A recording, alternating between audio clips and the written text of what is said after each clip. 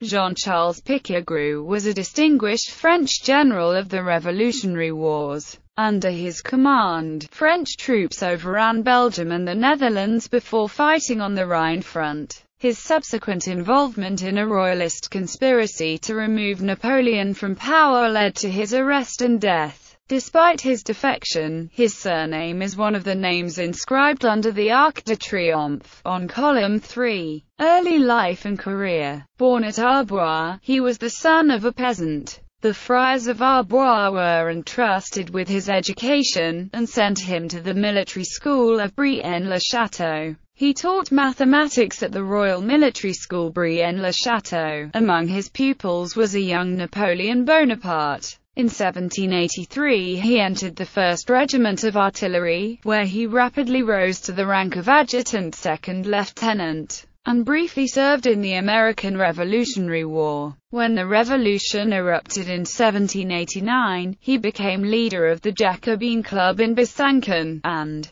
when a regiment of volunteers of the Department of the Gard marched through the city, he was elected lieutenant colonel. Rhine Front the fine condition of his regiment was noticed in the French Revolutionary Army section of the Rhine, and his organizing ability got him appointed in the headquarters, and then promoted general de brigade. In 1793 Lazare Carnot and Louis de Saint-Just were sent to find roturier generals who could prove successful. Carnot discovered Jean-Baptiste Jourdan, and Saint-Just discovered Louis Lazare Hoche and Pichegru. At first Pichegru was appointed General of Division and Commander of the Division of the Upper Rhine, appointed Commander-in-Chief of the Army of the Rhine. Pichegru attacked the coalition army of Dagobert Sigmund von Wurmser in the Battle of Haguenau. Over a period of weeks the coalition forces were driven back step by step in bitter fighting.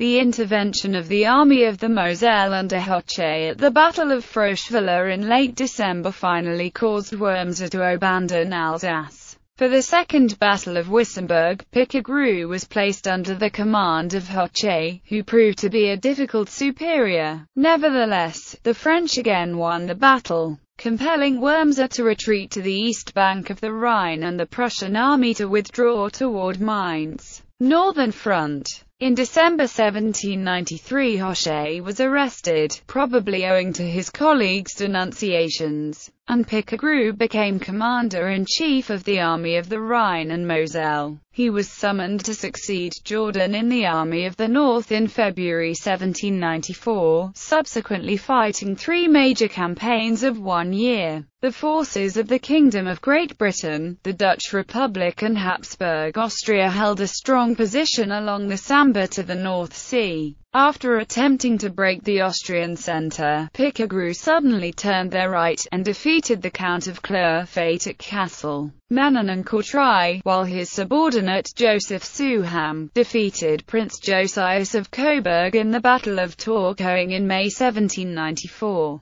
After a lull, during which Pichegru feigned a siege of Ypres, he again attacked Clerfayt, and defeated him at Roeselare and Hooglede, while Jourdan commanding the newly named Army of the Sambre and Meuse, withstood Austrian attacks in the Battle of Fleurus, which eventually led to Allied evacuation of the Low Countries. Pichegru began his second campaign by crossing the Meuse on 18 October, and, after taking Nijmegen, drove the Austrians beyond the Rhine. The Anglo-Hanoverian army withdrew behind the Waal. Then, while Pichegru's troops prepared to go into winter quarters, the convention ordered the Armée du Nord to mount a winter campaign. On 27 December two brigades crossed the Meuse on the ice, and stormed the Bommelerwaard. On 10 January Pichegru's army crossed the ice of the Waal, between Zaltbommel and Nijmegen, entered Utrecht on 13 January, which surrendered on the 16th. The Anglo-Hanoverian army retreated behind the Waal and then withdrew to Hanover and Bremen. Pichegru, who had successfully penetrated the frozen Dutch waterline arrived in Amsterdam on 20 January, after a Velvet Revolution had taken place.